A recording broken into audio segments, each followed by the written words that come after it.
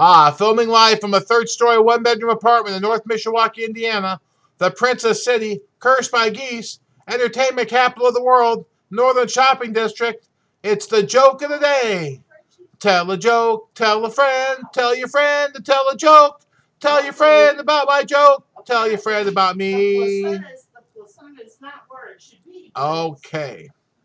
So anyway, this this mom goes, the wife goes to Costco to get some, you know, regular stuff, and she sees this big can of dog food.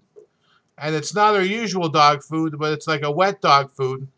And she thought, well, our dog's getting kind of old. Maybe he'd like a little bit of the wet stuff. So she puts some in when she gets home and puts some in the dog bowl and puts the rest in the fridge.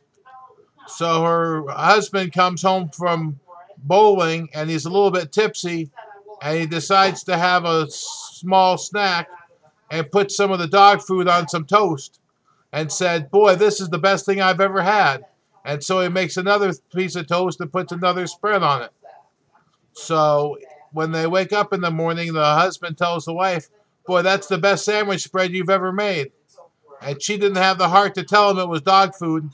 So she just said nothing. But she did call the family the, the family doctor and said, "Listen, my my husband's got a taste for dog food. Is this going to be dangerous?" And the doctor said, "No, most dog food's you know pretty okay for humans to eat." So time goes by. About six months later, the wife sees the doctor at the mall, and the doctor says, "How's your husband doing on this new diet?" And she goes, "He's dead." And the doctor says, "Dead? What happened?" And the wife said, Well, he was licking his balls on the couch and fell over and broke his neck.